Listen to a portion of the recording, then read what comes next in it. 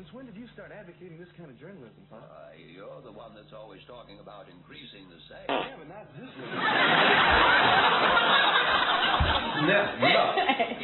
Men allvarligt, vad håller du på med? blev så. Förlåt, det var bara ett skämt. Ja, jättekul. Det kommer sen. Det var bara ett skämt. Men farligt. Danne, vad är det med dig? Förlåt.